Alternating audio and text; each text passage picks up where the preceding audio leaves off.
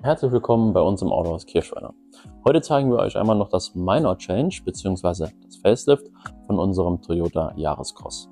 Wir haben hier jetzt einmal die Premier Edition, da zeigen wir euch mal ein paar Neuerungen und auch was das Auto inzwischen so kann. Bei unserem Minor Change hat sich nicht viel geändert, aber wir zeigen euch mal was. Wir haben ein neues Felgendesign in der Größe 18 Zoll, wir haben eine neue Farbe, Urban Khaki, hier auch in der Kombination mit einem schwarzen Dach gibt es für verschiedene Modelle wählweise, je nachdem, was ihr wünscht. Wie erwähnt, haben sich weder Maße noch das Innendesign großartig verändert. Das heißt, wir kennen die Rücksitzbank, unser Kofferraum ist immer noch in der gleichen Größe, aber auch hier haben wir genügend Stauraum, wenn es auch mal etwas weiter weg geht oder mit der Familie in die Reise gehen soll. Wir können unsere Rücksitzbank umklappen, immer noch im 60 zu 40 Verhältnis.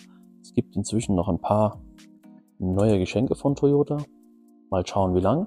Ich denke mal, so lang wie der Vorrat reicht. Das heißt, kommt schnell rein, dann kriegt ihr was. Die Heckklappe ist elektrisch.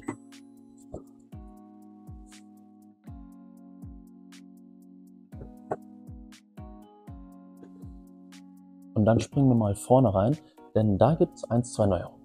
Im Innenraum haben wir zwei Neuerungen. Wir haben einmal ein neues Infotainment-System, jetzt in einer 10,5 Zoll Größe, finden wir aber immer noch alles genau das drauf, was wir kennen und das Design des Sitzes hat sich bei ein paar Modellen verändert.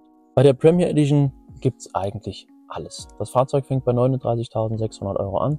Ihr habt aber von A bis Z alles drin. Wir haben ein 10 Zoll Farb-Head-Up-Display mit drin. Wir haben 8 Lautsprecher, JBL-Anlage, Sitzheizung, Lenkradheizung, Klima, Konnektivität fürs Handy, alles was das Herz begehrt. Wir sind also heute auf ein paar Änderungen des Minor Changes eingegangen. Allerdings eine wichtige Sache haben wir und zwar gibt es das Fahrzeug zwar mit dem Motor, wie wir ihn kennen, die 1.5er Maschine Vollhybrid, aber jetzt mit 130 PS. Das heißt, wenn man mal ein bisschen schneller fahren will, gibt es nun mal den neuen. Auch hat sich geändert, dass wir die Variante Allrad inzwischen auch beim Team Deutschland einwählen können. Das heißt, wenn ihr vorsorgen möchtet, zum Beispiel für den Winter oder wenn es mal ein bisschen steinigere Wege geht, könnt ihr das inzwischen auch ab dort wählen. Den guten Racker gibt es bei uns 40.595 Euro inklusive der Überführungskosten und so wie er hier steht. Und zum Abschluss bleibt Folgendes zu sagen.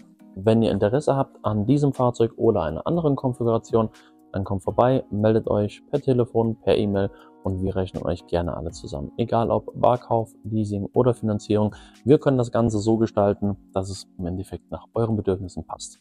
Danke und bis zum nächsten Mal.